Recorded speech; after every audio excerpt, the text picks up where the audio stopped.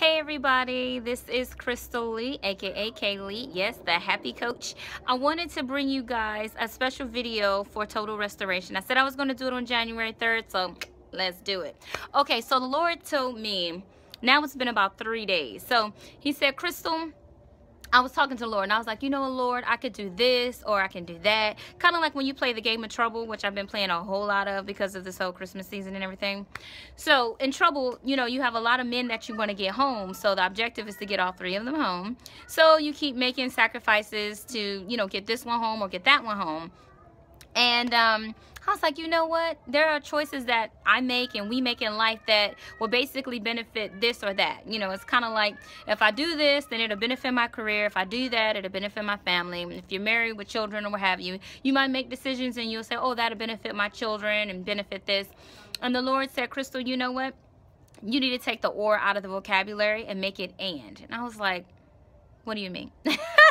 so when you break it down, what does and mean? How can you take out or and put in? And the short answer is when when we say that we're going to follow something that the Lord told us to do and, you know, try to, you know, do other things with it.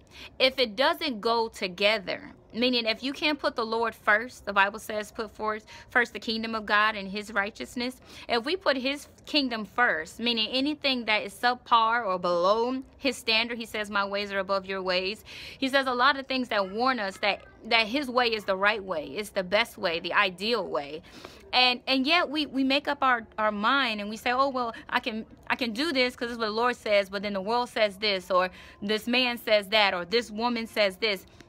And I just want to encourage you, if there are people in your life that is trying to dissuade you from actually doing what the Lord, thus says the Lord, the Most High, then I want to encourage you that you need to know in the realm of, of dealing with the Most High, He wants you to do what He says and not sin. Like uh like Paul said, I've become all things so that I may win souls and not sin. So we can't say, oh, in order for us to, you know, witness to people or to be in a relationship or to have, you know, a career or a business or what have you, and for it to do well and for the Lord to bless it, that we have to take out the and and put in an or. Because if you put in the or, you're no longer operating in the way that the Most High wants us to operate, but now you're operating the way you want to operate.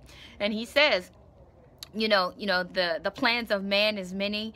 And it's true you know i love the verse that i put out too on just the thought recently which was coming from proverbs 4 7 and it says you know to seek wisdom is the key but in all thy getting get an understanding. In our lives we get a lot of things right? We buy a lot of things we kill ourselves for things we kill our, ourselves to get stuff get people get things. But I, I love how the lord says in all thy getting and everything that you get get an understanding. Because just because days and weeks and years pass by and you basically are are living your life and and doing things and, and and obtaining things and getting things doesn't mean you totally understand what even is going on. I know um we laugh at the the hebrew nation that was lost in the wilderness for 40 years but have we really thought about how many people are lost for their entire life? So how many people never get god? How many people die in their sins? How many people have have heard the gospel but they reject the gospel and then they don't ever get another chance to come back around. And you look at that person and you're like man they so stupid. But but no they're not that stupid. They just live in a reprobated life. And we pray that when we live a reprobate life that the lord will have mercy on us and give us a chance to be able to hear him and see him.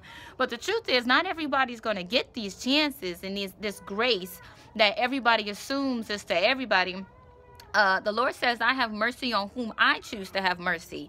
So that may not be us all the time. It may not be you. It may not be me.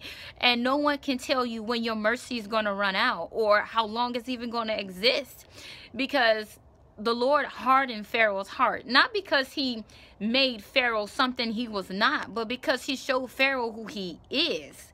And and it's and even Samuel, or not Samuel, Saul when Saul fell, Samuel came to him and said, Saul, don't lie to me. Just tell me. Tell me the truth. You know, tell the Lord, you're not lying to me. And that's the truth with us. When we think we're lying to, to, um, to people or, or even to ourselves or whatever to god. You can't lie to god. The lord knows all things. He said all things. He knows all things. He knows us better than we know ourselves. In fact he says i knew you before you were born. And that's why he can say jacob have i loved and esau have i hated. And there was nothing either one of them did to earn it. It was just the lord's you know intuition to know who we are and what we are. And that's why it's so important that we take the or out of our vernacular and put in the and. Because when we do what the Lord says and not sin, then that's when we can really live a blessed life, a happy life, a great life.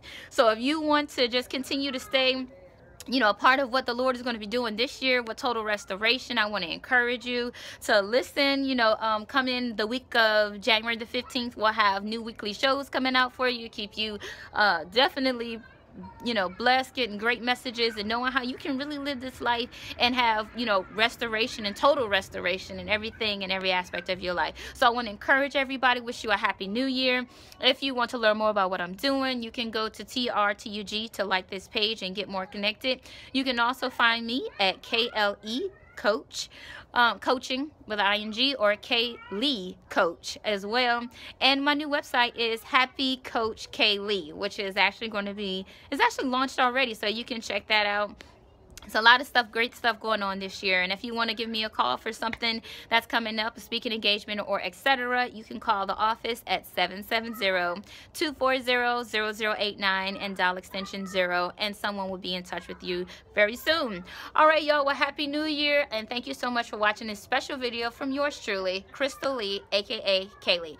Bye-bye for now.